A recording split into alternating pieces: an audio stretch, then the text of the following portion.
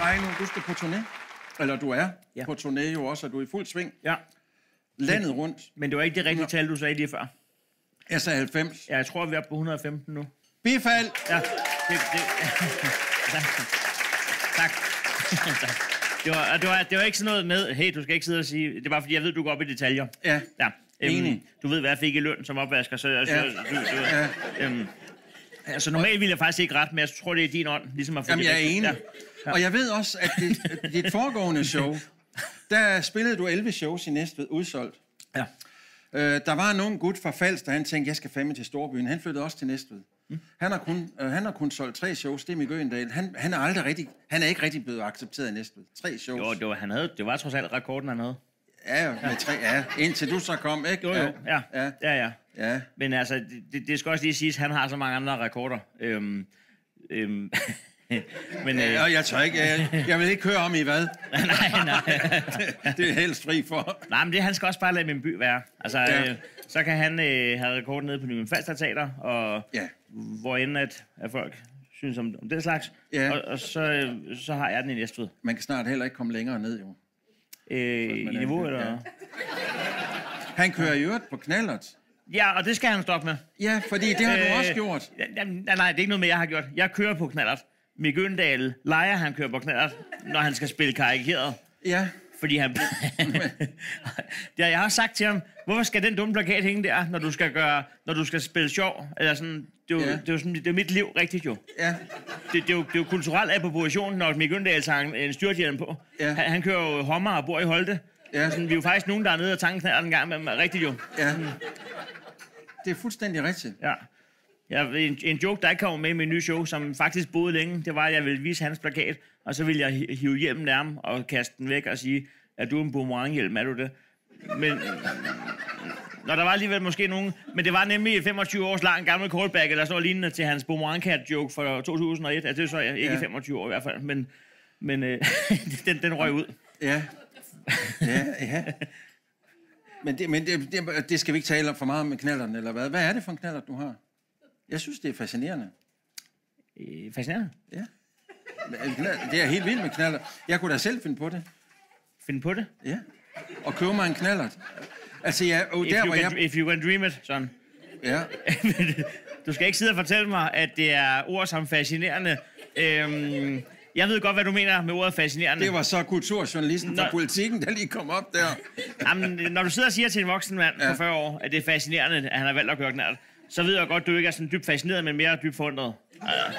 Altså, nu, Og du sidder og siger, at du kan også godt tænke dig det, men... men nu har jeg kommet i København før, og altså for tre år siden, der første gang, jeg skal møde Tobias Dybvad, så kommer han kørende på en scooter med, med sådan en, en halv, øh, halv æggeskal på hovedet. Så jeg er ligesom, jeg er vendet til det. men gad du godt rigtig en knald? Ja, det er da det. Hvorfor har du så ikke en knald? Jamen, det ved jeg, og det, jeg, jeg har jo også en kone jo. Ja, Altså, jeg boller jo ikke med en knald. Hvem, hvad er det, du tror?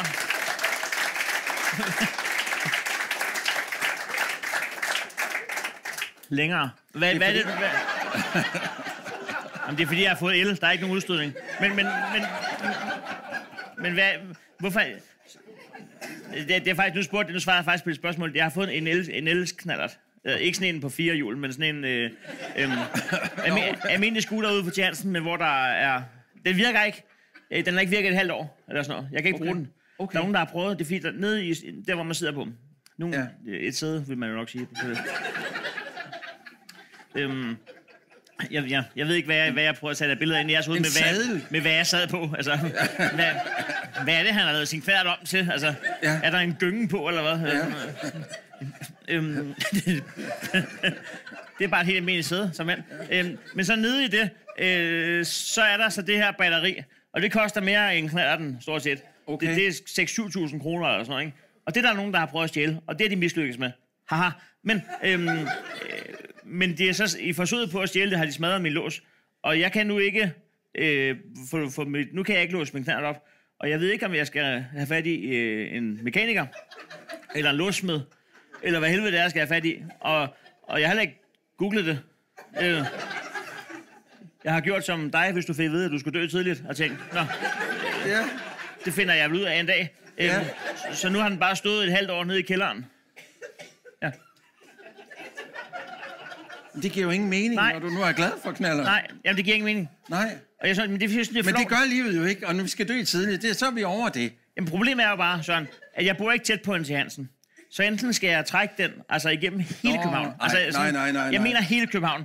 Altså, jeg skal se- trække altså, op igennem hele Falconer Allé og hele Jagtvej. sociale og- medier gå fuldstændig amok? Har du har også set Finn Heino? Ja, så enten skal jeg gøre det i fuldt dagslys, trække Ja. den i et halvanden time op igennem København, Ja. for at få videre op til Hansen, at det kan de ikke gøre noget ved. Ja, Ellers så skal jeg gøre det om natten, så er jeg ham, der trækker en knaller om natten, ja. for at stille den op foran til Hansen, og håbe, ikke bliver stjålet til i morgen. Og ellers er ham, der skal have fat i en låsmed, der, sig- hvor jeg så skal lade som om, at at i hvert fald spille det der skuespil, hvor han til at starte med nok vil tro, at ja, mm, Ja. ja. du skal skifte lås på din knald. Ja, Skjult kamera. ja, eller 20. Ja, ja. For jeg, jeg er ikke sådan en, der har bevis på noget som helst. Nej. Sådan, så, så, så nu, lige nu er det, det er skakmat situation. Der står bare en knald nede i min kælder. ja. Jeg, for, jeg fornemmer, at vi er på vej ind i en blinkyd her. Ja. ja, ja. Nu, Og jeg, tager, jeg du, tager imod øh, inputs fra salen også. Ja. Nu siger du godt nok Næstved. Lad os lige vende tilbage til Næstved, fordi. Ja. det er den der evne, du har til at gøre dig dine jagttagelser, og så få det op på en scene og brede det ud, så vi knus elsker dig. Der har du ligesom hyldet Næstved ved at være en enorm kedelig by, og det er simpelthen det er hele grundlaget for din succes. altså, den, den er lidt svær. At øh, man skylder Næstved en ja. tak. Ja. Jamen, der er jo ikke så meget og sådan... Altså, nu, nu, nu, nu, det er faktisk en af de udfordringer, jeg har haft ved at få børn, og så have dem til at bo i midten af København, fordi Ja, det er det. jeg er sådan lidt bange for, hvad er der så af highlights tilbage? Det, ja. det var det, der var det fede hver tredje år, når man ankom til Hovedbanegården, og gik op og så Paladsbiografen. Ja. Ja. Og der var farver og sådan noget. Ja. Fanden er der foregår? Øh, men når man så bor i det, sådan, hvad er det så, der er tilbage af endorfiner? Og, og, øh, der er meget andre, der er, der er andre highlights, når man bor i næste, hvor man selv skal lægge det sidste lod i, for ligesom at kunne fortælle historien videre. Fordi de mange af de ting, der sker, er ikke en viderefortælling værd. Og så lærer du, nå, men så må du selv slutte den jo. Jeg var ude en gang, fordi det man tit gør, når man bor i Næstved, det er, at man tager ud i storcenteret om lørdagen og hænger ud med sin Ja. familie og sine venner. Og tager smagsprøver og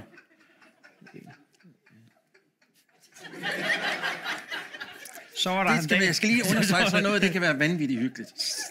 så var der en dag, hvor John, o, John O. skulle springe faldskærmsudspring ude for parkeringspladsen ude foran Bilka.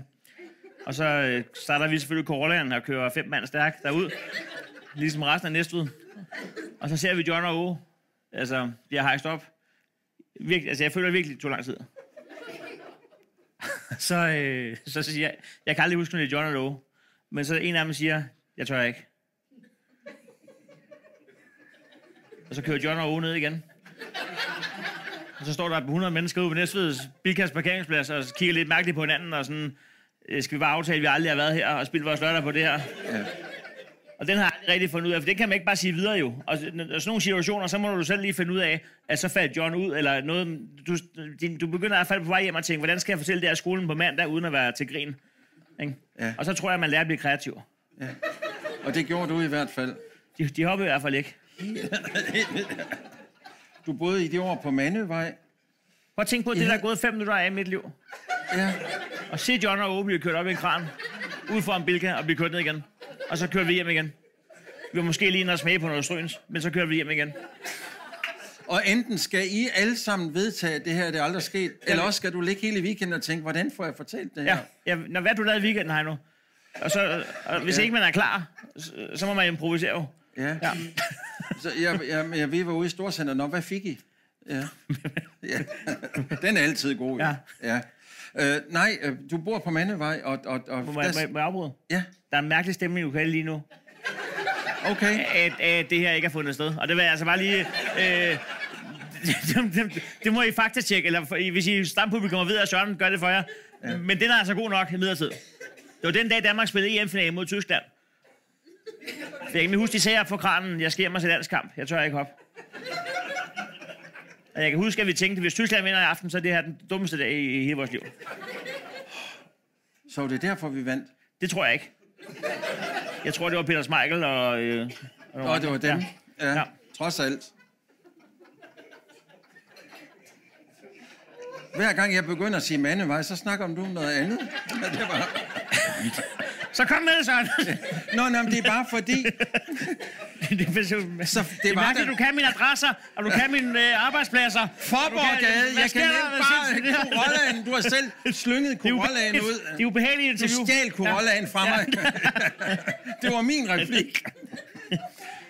Du har optrådt meget med andre, faktisk. Ja, Det er du også god til. ja. Ja. Men jeg er tilbage til Mandevej.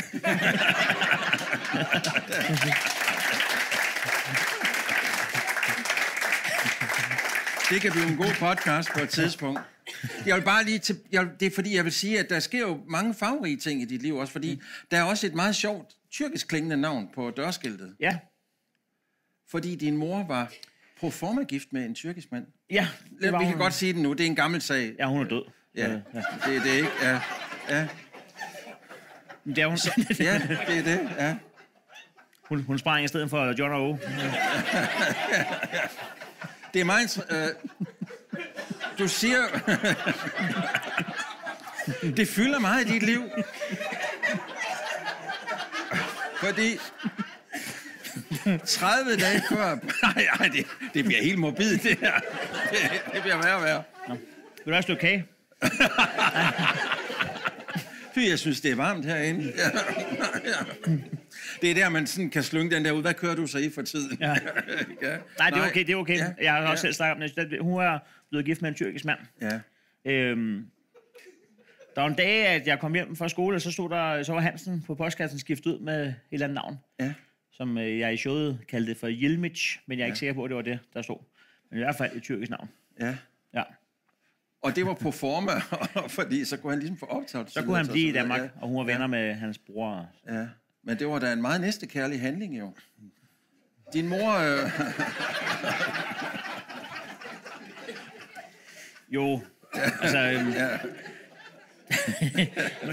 jo, men det, det, ja, øh, det kommer an på, hvorfor hun gjorde det, kan man sige. ja, ja. Øhm, hvis det kun var for at være kriminel, så, så er det jo... Øh, så er det jo i hvert fald næste kærlighed, hvis det kun var for at redde et menneske, vi ikke kendte. ja. Men det kunne også være, at der var... Jeg ved jo ikke, altså, jeg, jeg, jeg har jo aldrig... Jeg var barn sådan, Ja, det er det. så jeg, jeg ved jo ikke, om der har, hvad, hvad, om der har været nogen fordele ud af det, eller... Nej, nej, nej, nej, nej.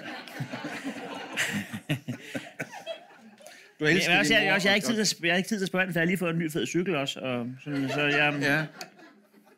Ja. det gik godt lige der. Ja. Jamen, det gjorde det jo faktisk. Mm. Øh, din mor, øh, det var en stor sorg, da du mistede din mor. Du siger også, du siger også at da, da, da din mor døde, så frisatte det dig på en eller anden måde i forhold til stand-up'en, fordi det har været meget anspændt for dig også, og det har virkelig, du har virkelig kæmpet for det, og lige pludselig fandt du også ud af, jamen det er jo bare stand-up. Ja, Værre er det jo ikke. nej. Så, så det er sådan noget underligt noget, fordi det er jo også en sorg, ikke? Øh, Ja, jamen det er det, man skal jo man skal ligesom finde ud af, hvad man kan tage med sig. Ja. Man kan jo ikke, altså, man kan jo ikke, hvis, nu vidste jeg, min mor, der var sådan, det ved jeg ikke, i, i start 30'erne eller sådan noget, ikke? Ja. Ja. Og det er jo ikke engang, altså, det kan jo være meget tidligere, og sådan, så det er jo ikke engang, men, men, men, men, men hvis nu jeg bliver 80, det gør jeg jo så nok ikke, men, Eller, jeg, Du har lige sagt, du har Nej, ja, ja, venstrehåndet, ja, og så præcis. sidder du og slynger sådan nogle fantasier nej, nej, ud. men, men, men, men, så vil jeg, men jeg kan ikke regne, man kan ikke regne i syv for år og bare være øh, ked af det. Nej. Så man skal ligesom finde ud af med sig selv, øh, alt efter hvad der er sket, og hvor hårdt det har været for en. Øh, hvordan kommer jeg videre, synes jeg? Øh, fordi der kommer også til at ske andre øh, øh, hårde ting i ens liv, øh, må man jo regne med. Øh, så man, det er sådan, ligesom, man skal prøve at finde ud af, hvad, hvad, hvad, ja, det har jeg sagt et par gange, hvad, hvad gør man? Og sådan. Øh, jeg, jeg har jo taget hende med som coach, Ja. fordi hun var, øh, ikke coach, altså det er, altså, øh, men, men en, jeg kan bare huske, når jeg engang skulle ud og optræde i Allerød eller eller andet, og så snakkede jeg telefon med hende. Øh, jeg, jeg kan ikke huske, om jeg sad i toget eller stod på hovedbanegården eller sådan, men så, så var jeg sådan, jeg, jeg gider ikke optræde. Og så blev hun sur på mig. Og sådan, øh, der sidder nogen, der har regner med dig, og som har valgt, at du skal komme og glæder sig muligvis også til at se det, øh, så sidder du og siger, og så kunne jeg mærke, at jeg havde regnet med, at jeg skulle have trøst af min mor, og så, Ja. ja. så får jeg skæld ud i, i to talerød. Sådan. Ja. Øhm, så hver gang jeg ligesom hører mig selv bare være lige ved at tage tilløb til, at være på vej til det andet, som jeg selv har arrangeret, og spurgt om folk vil komme, og folk har sagt, det kan du tro, vi gerne vil, og så sidder jeg, mm, øh, så kan jeg høre min mor sige, tag dig sammen, din fede Ja. idiot, mand. Ja. ja. Det var ikke sådan, hun formulerede det, men jeg kender hende. Jeg kender hende bedre end jer, så det var med det der. Øhm, Ja, ja. Ja. Ja. Der har du så valgt øh, i de her show, som nu øh, kommer rundt i hele landet, som jeg er sikker på, en meget stor del af befolkningen kommer til at se, at der har du også øh, et af de, øh, synes jeg, store numre i dit show. Det er jo faktisk også øh, øh, bygget op omkring din mors kunst. Ja, vi, vi gennemgår i hvert fald lige øh, øh, opskriften på millionbøf. Ja. ja. ja. Og der skal, jeg kan roligt sige, der skal ikke for mange ingredienser i. det, det ødelægger ligesom den direkte oplevelse ja. i det. Ja. ja. Men, det, men der kan man det, måske mere sige, at det handlede i hvert fald også om, sådan, uden at sige for meget, at, men, at hun var ikke så god til at lave mad. Mm. Og, øh, og, og, og det synes jeg især slog igennem, når vi skulle til samme skudskilder på skolen og sådan noget. Ja, ja. Øhm, hvor, altså, hvor flot det var. Altså, ja. sådan, bare stod sådan en gigantisk skål med uspiselig mad, som ingen gad at tage af. Ja. Sådan, det var egentlig så også trauma, jeg har for mit liv. Altså, hvor jeg bare skulle kværne mig igennem kilo af min mors uspiselige øh, kød, kødgryde derop. Øh, ja. For at redde familiens ære. Det er meget sjovt, eller interessant, det der med, hvis man spørger et menneske om, hvad er det mest pinlige øjeblik i dit liv? Så tænker man nogle gange, det er sådan et eller andet enormt spektakulært og alt muligt andet, men ofte, så er det sådan en lille uskyldig ting fra barndommen i virkeligheden, der ja. sidder i en stadigvæk, selvom man er både 50 og 60 år. Det er ret vildt, ikke? Ja, det synes jeg også. Men, øh, men jeg må også erkende, at det ligesom slog mig, at jeg ville... Øh, at jeg, øh, der, der kommer til at give mening i showet, men jeg kommer til at give mig selv et benspænd med, at jeg ligesom skal mene noget. Jeg skal finde nogle emner, hvor det skal ikke bare øh, kun være anekdoter fra, fra cykelstien. Det skal, jeg skal også mene noget. Ja. Øh, og der fandt jeg ud af, hvad er det egentlig, jeg hader mest her i verden? Og så det mig sådan, hvorfor bliver ordet millionbøf ved med at dukke op? Altså, du kan vælge frit. Ja. Altså, det er krig, ja. og, altså terror. Du kan vælge alt. Du, du ved med at tænke på millionbøf. Så, hvad, er det, hvad er det, det handler om, det her, Heino Hansen? Og, og så, det, det, kom simpelthen ægte indenfra. Det var simpelthen øh, sam, sammenskudskilder millionbøf. Det, det, var næsten det, jeg hellere ville fjerne før ja. krig. Ja. ja. Og det kan jeg så fortælle, det bliver til et fuldstændig vanvittigt, spektakulært og vidunderligt nummer i dit show.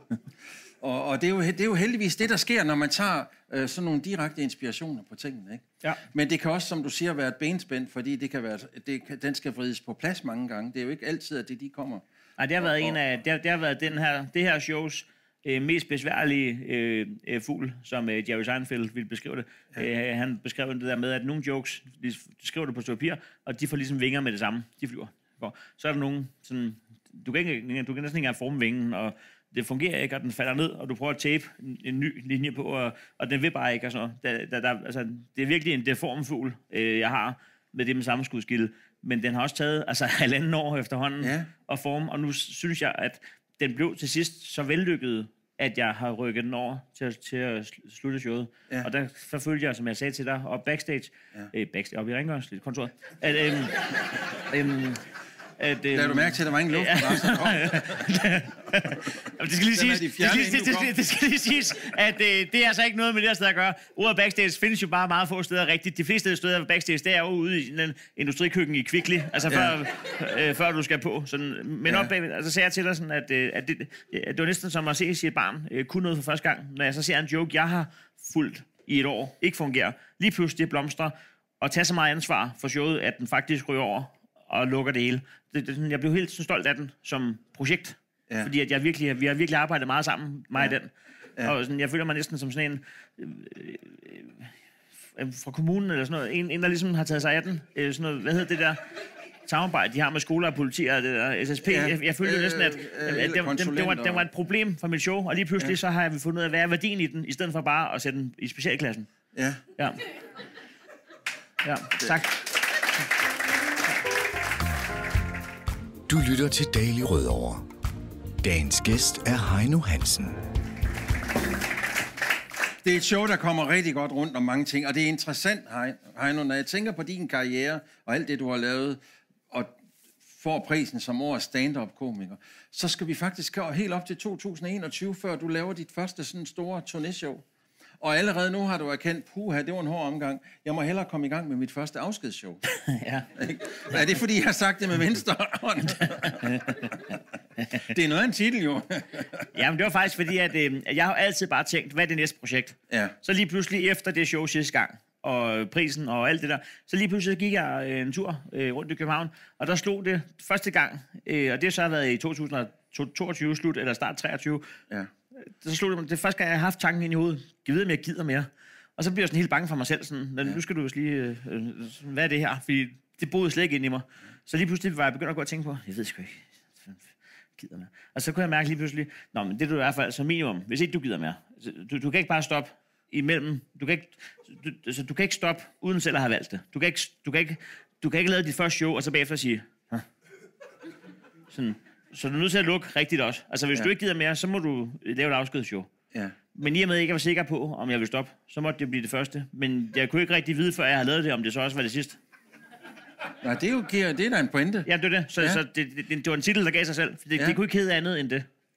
Det, det var, altså, det var... Jamen, det ved jeg ikke. Det var bare, der, der var en flaskehals i brainstorm, der bare blev med at køre den vej, fordi alt andet ville være falsk markedsføring. Ja. Så det var det, det, det, var det, det, var det showet kunne hedde. Men du ved jo også, at når du står på en scene, så har du det rigtig godt. Så snart du går ned ad scenen, så kommer fobierne igen, Høje Tostrup station, jeg ved ikke hvad. Ja, Ikke? jamen, det er Så fordi- du skal blive på den scene. Der er en verden ude for den her scene, som jeg i, vi- vildt, i virkeligheden ikke bryder mig om, og det har Ja. ja. intet med jer at gøre. Altså, intet. Øh, men, men, Det er ikke den her scene. nej, nej, det, det, det, nej, nej, nej.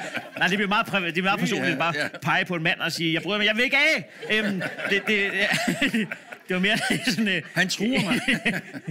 et billedsprog, øh, at der, der er mange, der spørger sådan, er du ikke bange for at gå på scenen? Og jeg ved med mig selv, jeg er simpelthen meget mere bange for at gå af. Fordi Ja. det, heroppe, der kan man, det, det er en legeplads. Det, det er sådan et univers, man har. Men når man går af, så er der jo e-boks og øh, alt muligt. Altså, øh, Ja. jeg bryder mig ikke om det. Så der, der, der er jeg på usikker grund. Så jeg, jeg elsker det her, det her sted at være. Ja. Ja. Det betyder så også, at når du nu er så meget hjemmefra i det her rakkerliv, så er du faktisk familien med nogle gange også, ikke? Ja. Fordi vi skal jo også ligesom finde normalitet i den måde, vi måske sådan ligesom lever vores hverdag på, ikke? Ja. Som er lidt anderledes. ja. Så det er ikke sådan øh, noget med, at du rejser et halvt år og kommer hjem og tænker, nå, så er børnene startet i skolen. Nej, nej, vi tager dem, vi tager dem med rundt, så, så vidt muligt. Ja. Vi fandt nu, altså de var også med på sidste tur, og der har de jo så været altså et halvt år, og, Ja. og den anden har været to år eller sådan noget. Ikke? Og de kan da ikke fortælle mange vittigheder i den alder. Det er ikke mange. Øh, skuffende få, faktisk. Øh, men øh, nu er de jo så blevet de år ældre, der er gået fra det årstal, jeg sagde før, til det årstal, vi er i nu. Ja. Øhm, jeg ved godt, hvor gamle mine børn er. Hvad er det, jeg ved? Fy, ja. Ja.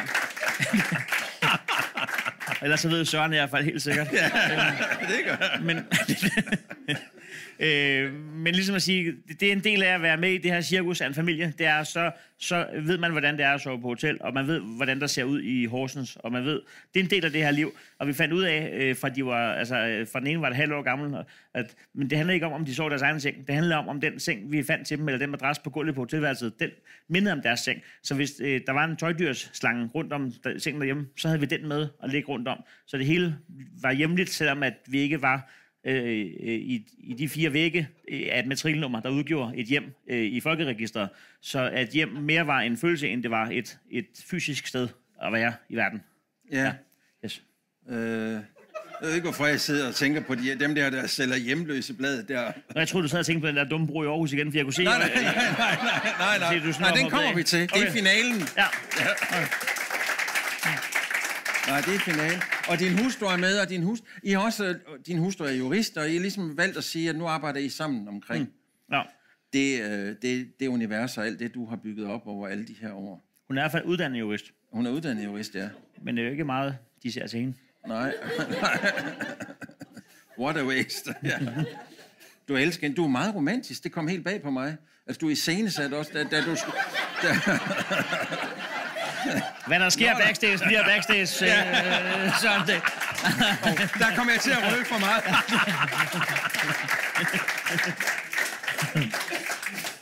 og du sidder og skriver filmmanuskripter og, og iscenesætter, hvordan du skal fri til hende, og det kan ikke blive smukkere. Altså, Nej. hele scenariet er fuldstændig, som det skal være, og så krakelerer den lidt. Ja, med frieriet. Øh, Ja, derude på Islands Brygge. Ja, men det var, fordi jeg friede forkert første gang. Jamen, det var det. Øh, Jamen, der var, jamen, du var for fuld, var du ikke? Eller ja, jamen, vi var, vi var simpelthen uvenner oppe i byen. Ja. Altså, øh, Og det er en dårlig øh, start. Ja, ja, altså sådan noget rigtig uvenner. Øh, øh, sådan noget, hvor man øh, siger noget om, om hendes mor og sådan noget uvenner. Altså sådan noget, Okay. det jeg tror også, vi er nået forbi politiske standpunkter. Altså sådan noget, sådan noget uvenner. Øh, og du har ikke sat dig en skid ind i den baltiske krig og sådan noget. Altså, sådan, øhm, det der er uvenner. Øh, hvor nogen græder og sådan noget. Og, og, og det var ikke mig. Og, og, og, og så for ligesom at, at sige, godt, det er altså dig, jeg elsker. Så inde på Comedy Zoo, altså øh, ude i midtergangen, jeg ved ikke, om man har været der, men der mellem toilettet og salen Ja. på trappen, så satte jeg bare ned på knæ og sagde, vil du gifte dig med mig?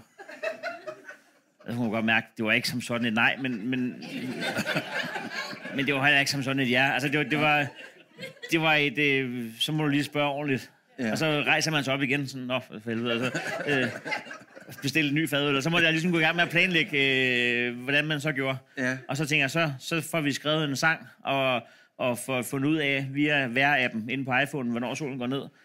Og du skriver en sang selv jo, ikke? Ja, ja. Du skriver en Jeg sang. låner lige Kim Larsens melodi. Jo, jo, jo. Ja, ja. Det er, han er død. Øh, men jeg skriver den lige selv. jeg skriver den lige selv. så, øh, det er et sindssygt arrangement, det her. Øhm, men, Alle sidder og tænker, hvad er det for en melodi? Det er lige meget. hvad rager det der? Jamen, det er... Altså, må man slet ikke have noget privatliv her? Ja.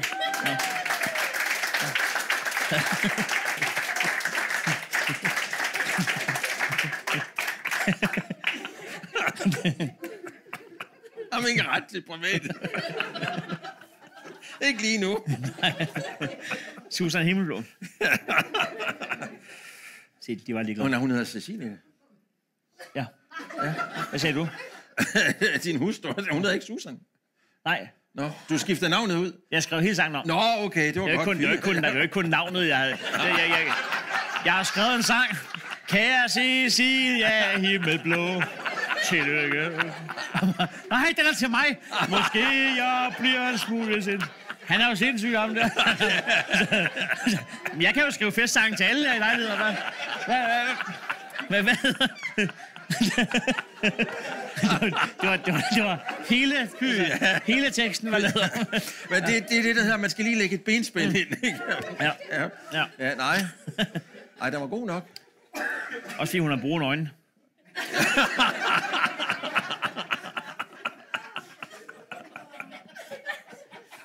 Men hun sagde ja ude på Islands Brygge. Ja, det gjorde hun. Der var solnedgang. Jeg sang og sang. Jeg satte mig ned, hævde en ring frem. Øh, øh, en velvalgt ring. Og Ja. så øh, løb der en kvinde forbi og kiggede lidt mærkeligt og vendte sig om og, og sagde tillykke, og så løb hun videre. øhm, men øh, så sagde Cecilia ja.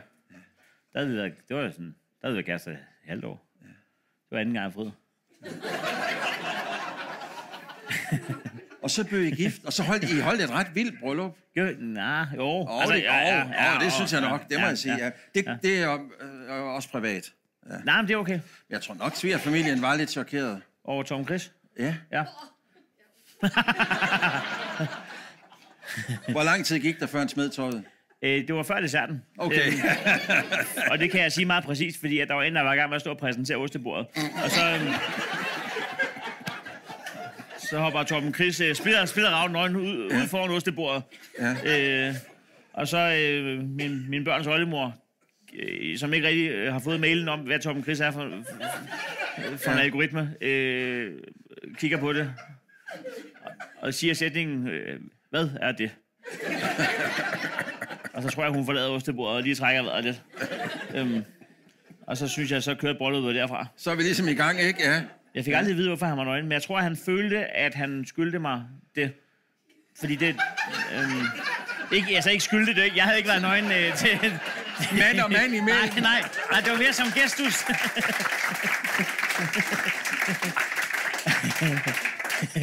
ja, der skyldte han lige en fra dengang. Jeg var nøgen over for hans øh, svigerbedstemor. Ja, ja, nej.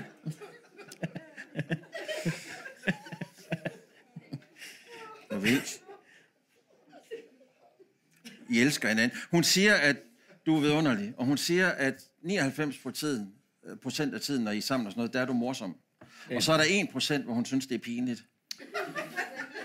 Så jeg sagde, det er det, hun siger. nærmere? Jamen det er, hvis I sidder, hvis der er alvor i tingene, I sidder nede i banken, og nu skal vi lige have talt om det her lån, mm. og så siger du, slunger du pludselig ud, ja, og så skal jeg lige bruge nogle penge til en pølsevogn.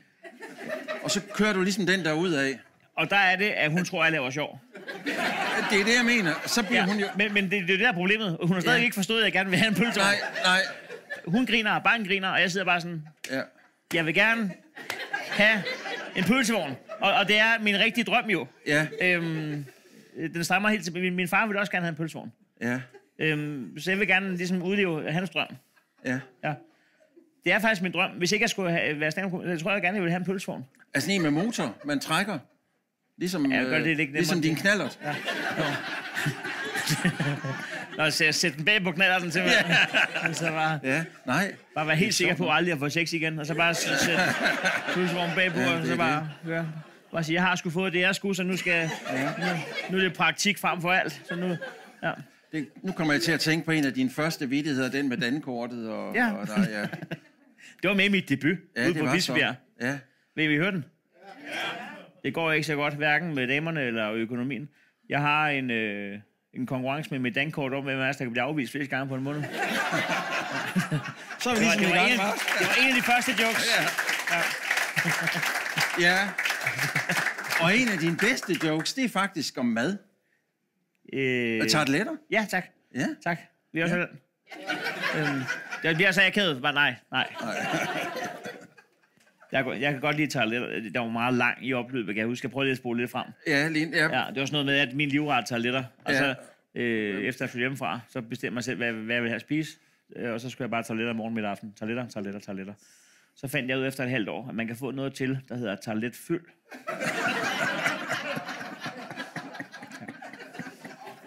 Den kører meget godt, ikke? Ja, jo. Ja, så taggede man lige med at sige, og så fandt jeg også ud af, at hvis du lige vender den om, så den formet som en skål, så kan man...